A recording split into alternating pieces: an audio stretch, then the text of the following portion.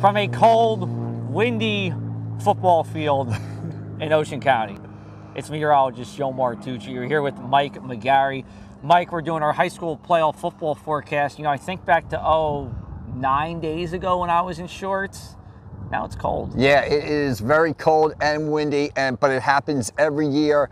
Uh, that high school football season, the weather starts to turn. We've really got about three weekends left. We've got this weekend where we've got some state semifinal games. We've got Thanksgiving weekend, and then we've got one more weekend after that left in the high school season. And, and the weather always turns. And in the past couple of days, somebody hit a switch or something as the yeah. wind comes right up my back. That's there. it. Well, the wind you are not friends. We right. Made that clear. So thankfully, you're only doing the forecast today. You're not actually reporting on anything. There you go. Uh, let's get into our games. We have four teams, but two of those teams are playing each other. Let's go from Friday into the weekend. Okay, on Friday we've got state non-public B semifinals. Our teams will be on the road. Holy Spirit up to Red Bank to take on Red Bank Catholic at Count Basie Field, and St. Joe going even further on the Parkway up to Passaic County to take on DePaul Catholic. Both games kick off at 7 p.m. Friday. You're really making my job tough, aren't you? There you go. We're going to test South you. Jersey forecast. Right, but now we're sending you uh, over the Raritan Bridge.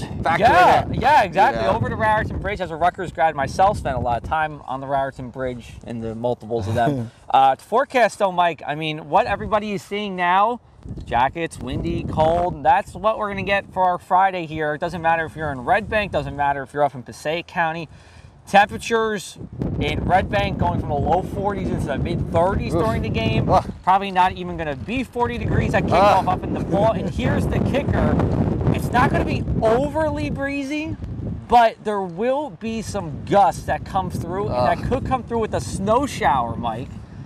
How, did, how does you and snow get along? Uh, I'm not. Uh, the older I get, I'm no fan of snow. All right. Well, or the wind. Well, we're gonna hope that it stays away from you. There are some snow showers. Actually, they're called snow squalls, brief bursts of snow right. that are looking to pass through the state right during the game. So I'm not saying it's definitely going to happen there, but at least it's going to be somewhere in the northern half of the state. All right. Uh, maybe we can try better on Sunday. Sunday, we're over in Burlington County at Cherokee.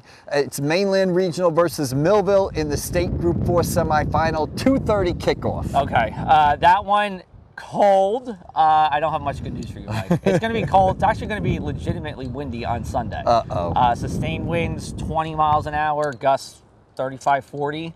Uh, temperatures uh, maybe 40, uh, but we're talking about wind chills in the 20s during the game, Mike. Do we think these games are going to go by fast? I think these three about games? two and a half hours they would take. So. We don't think any like uh, you know a lot of running or a lot of no. Know, they'll both be you know fair amount of both about two and a half hours. I guess the games on Friday night end about 9:30, 20 to 10. The okay. game on Sunday probably end around five o'clock, quarter to five. All right. Well, hey, um, you know, listen, it's uh, late November. Yeah. What are we going to do? It's football weather. Football. Eventually it's going to happen. Eventually it's going to happen.